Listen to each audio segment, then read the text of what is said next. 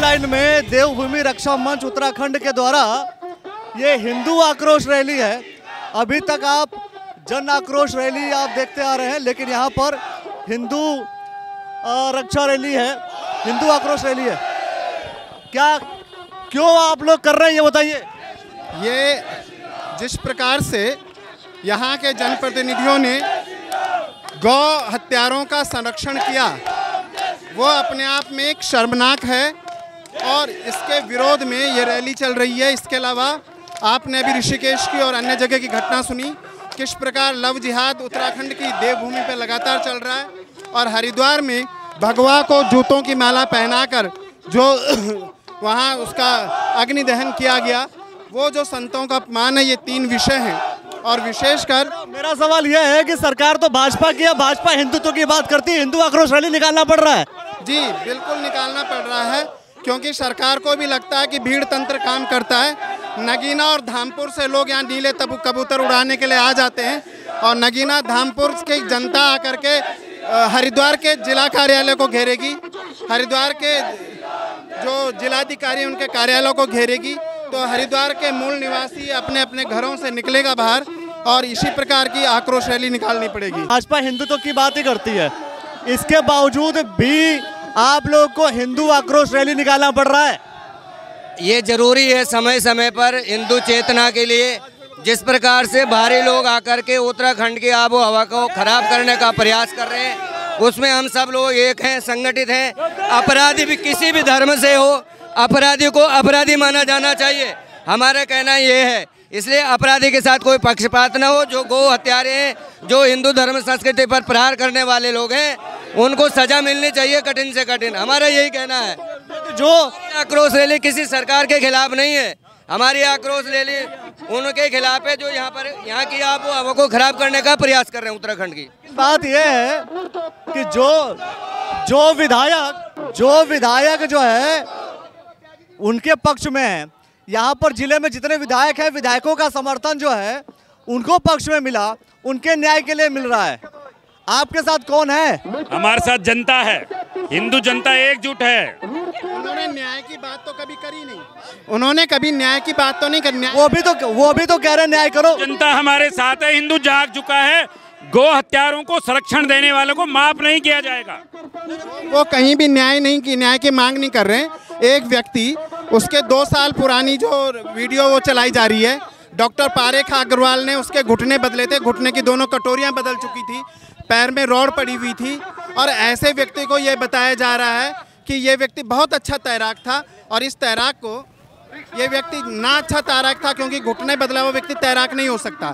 और उस गौ हत्यारों को बचाने के लिए वे सर, उन्होंने न्याय की तो बात इन्होंने कहा बस इन पे कार्रवाई ना हो। एक परिवार जिसपे बावन वो भाई देखिए, मैं अगर खानपुर के विधायक हो हरीश रावत हो जितने भी कांग्रेस के लीडर हैं वो सभी कह रहे हैं कि भाई न्याय होना चाहिए न्याय नहीं हो रहा है। उन्होंने न्याय की बात नहीं करी है। उन्होंने कहा जिस परिवार पे बावन मुकदमे उस परिवार पे कार्रवाई न हो।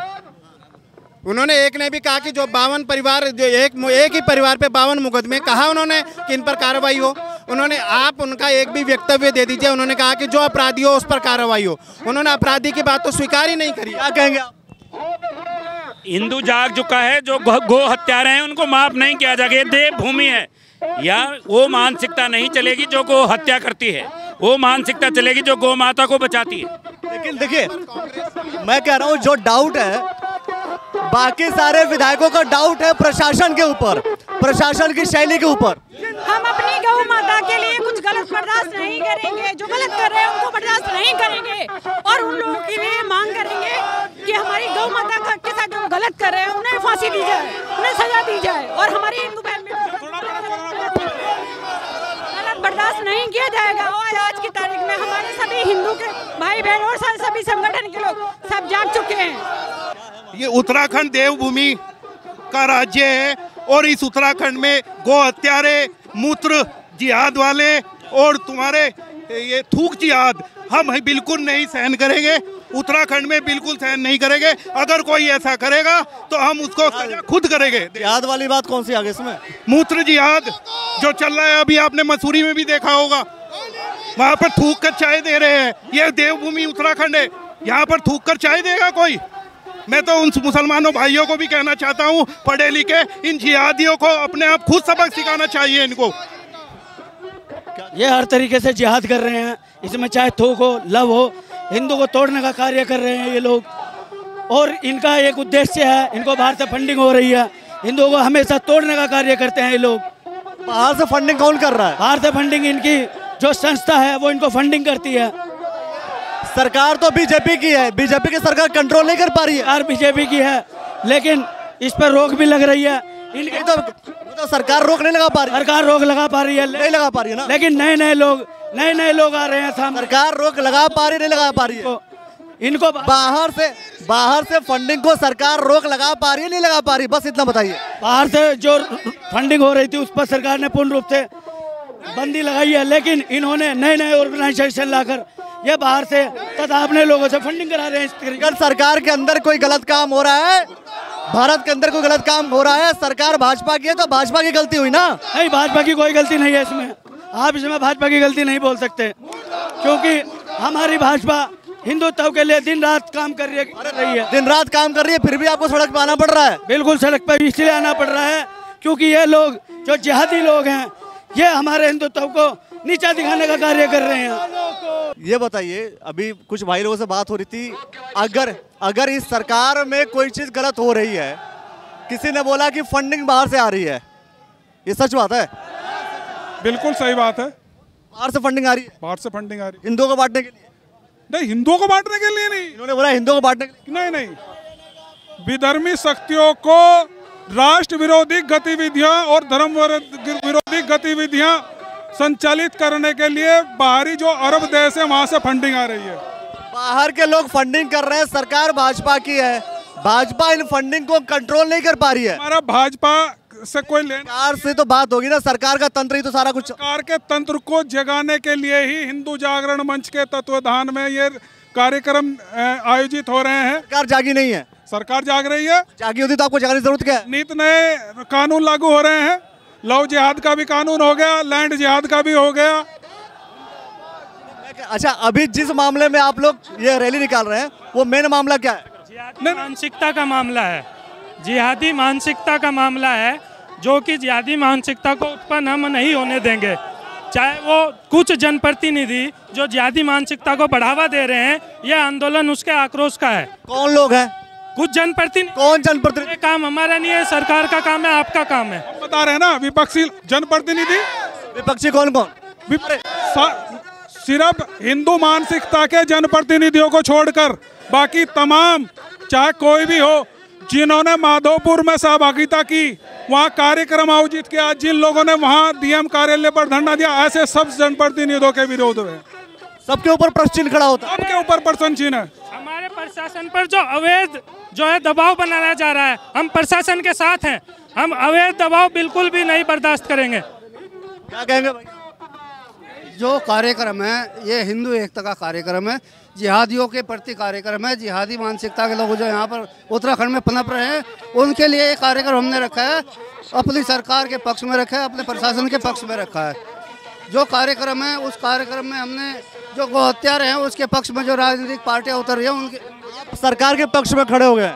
हम सरकार के पक्ष में पुलिस प्रशासन के पक्ष में है कि जनप्रतिनिधि जो गौ हत्यारों के लिए दबाव बना रहे हैं प्रशासन पे, वो क्यों बना रहे हैं? मतलब जिस जिसके परिवार पर बावन मुकदमे है उसका आप संरक्षण कर रहे हैं तो आपकी मानसिकता क्या है उस उसमें ये गलत है ना? मतलब एक क्रिमिनल बावन मुकदमे वाले परिवार को आप समर्थन कर रहे हैं कोई बावन मुकदमे हवा में तो नहीं लगे। समर्थन कर रहे हैं या वो कह रहे हैं कि भाई ये न्याय नहीं हुआ न्याय करो। न्याय क्या गौ हत्यारों को खुला छोड़ दे। जो ये आक्रोश है ये सबसे पूर्णता जो संतों का अपमान हुआ है और पिछले कुछ दिनों पहले आपने देखा होगा भगवे को जलाया गया है भगवा जलाया गया है। ये उसका आक्रोश है उत्तराखंड में संतों का अपमान नहीं सहा जाएगा और दोबारा ऐसी कोई घटना होगी तो हिंदू इससे ज़्यादा संख्या में आके आक्रोश दिखाएँगे। अगर कोई बाहर के समुदाय आके हमारे संस्कृति को दबाने की कोशिश कर रहे हैं तो हिंदू भी अब जाग रहा है। चलिए ये पूरा जो है ये हिंदू आक्रोश रैली है। ये जो गाड़ियाँ आप देख रहे हैं। भारत माता की। भारत छोड़ो भारत छोड़ो। किसको छोड़वा रहे हो? मोहम्मडन्स को। हाँ जी। कहाँ कहाँ से मतलब छुड़वा रहे हैं भाई? क्या कहेंगे भाई? जी भाई साहब। क्या मामला है? क्यों आप लोग इतना ये भाई साहब आज जो हमारी एक रैली है जो हिंदू आक्रोश रैली जिसमें गो हत्यारे के जो जिसने जो जिसने गो हत्या करती थी मोनू नाम के जो प्रतिनिधि उसको सपोर्ट कर रहे थे। कौन कौन? उमेश कुमार और चंद्रशेखर रावण इनको सपोर्ट कर रहे थे। तो उनके आक्रोश में हिंदू भाइयों ने भी एक रैली का आज आयोजन किया है। कि वो सिर्फ़ एक ही समाज को सपोर्ट करते हैं बाकी है तो वो भी हिंदू ही लेकिन अपने हिंदू भाइयों को भी सपोर्ट करने नहीं आते। क्यों? पूजा पाठ उमेश कुमार जी नहीं करते? पूजा पाठ की बात नहीं है सपोर्ट की बात हो रही है। अभी देखो आप भगवा जलाया गया है अभी हरिद्वार में। अभी एक कार्य वो केस हुआ था पीछे कि एक हमारे जो बाबा जी थे डासना वाले उन्होंने एक किसी के धर्म पर टिप्पणी कर दी थी तो उसको लेके उन्होंने आक्रोश निकाला था, लेकिन उसमें भगवे का अपमान उन्होंने किया है।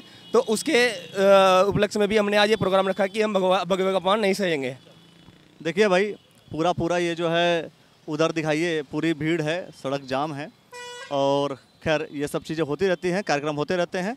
फ़िलहाल, आप लोग क्या कहेंगे इस पूरे रैली को लेकर के? इन लोगों ने जो वक्तव्य दिए हैं, उसे सुन करके क्या कुछ कहेंगे आप? कमेंट सेक्शन में प्रतिक्रिया दीजिए, कौन दोषी है, कौन निर्दोष है? ये काम तो न्याय व्यवस्था का है, न्याय व्यवस्था करती रहेगी। लेकिन जनता का अपना अधिकार है, उस अधिकार के तहत जनता अपना सवाल करती जा रही है। देखते रहिएगा, द न्यूज़ नेटवर्क। बहुत बहुत शुक्रिया बहुत बहुत धन्यवाद।